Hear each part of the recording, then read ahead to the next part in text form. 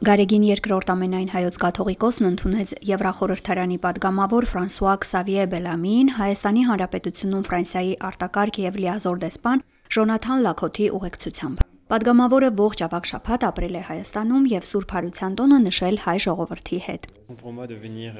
Ինձ համար շատ կարեւոր էր ավակ շաբաթն անցկացնել Հայաստանում, քանի որ Հարության տոնը համաքրիստոնեական ուրախություն է եւ հաղթական տոն։ Ինձ համար կարեւոր է այս տոնի խորհուրդը, որ մահով չի վերջանում ամեն բան։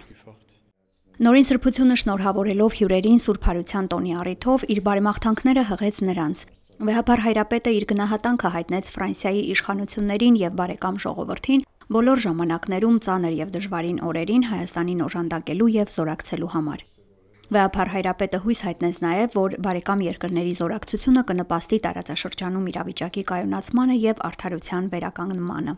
Հայաստանի Հանրապետությունում Ֆրանսիայի դեսպանը նշեց, որ падգամավոր Բելամին հետաքրքրված է Հայաստանով եւ ցանկանում է ճանոթանալ հետպատերազմյան Հայաստանի խնդիրներին Եվրախորհրդարանում այդ մասին բարձրաձայնելու նպատակով։ Պատգամավոր Ֆրանսուয়া Քսավիե Բելամին շնորհակալություն հայտնեց նորին սրբությանը ընդունելության համար։ Նշեց, որ մեծ սիրով է մասնակցել հայրապետական պատարագին։ Անդրադառնալով Հարության տոնի խորհրդին նշեց, որ հայ ժողովուրդը Հարության հաղթական արժեքների կրողն է։ Պատգամավորն ընդգծեց, որ ինքը տարբեր առիթներով միջազգային ատյաններում բարձրացրել է հայ ժողովրդին հուզող եւ մտահոգող խնդիրներ եւ այժմ էլ պատրաստակամություն հայտնեց Ստրասբուրգում բարձրաձայնել ռազմագերիների վերադարձի եւ Արցախում հայկական հոգեվոր մշակութային արժեքների պահպանության հարցի մասին։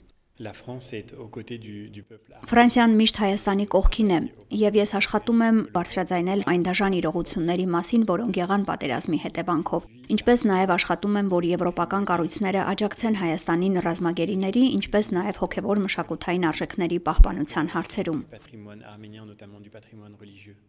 Հանդիպմանը անդրադառնալով Արցախյան երկրորդ պատերազմին վեհապար Հայրապետը ներկայացրեց պատճառված վնասները, խոսեց հայրենիքի կորստյան ցավի եւ արկա մարտահրավերների, միջազգային հանրության Ադրբեջանի սանձազերծած ագրեսիային արդարացի գնահատական տալու կարևորության մասին։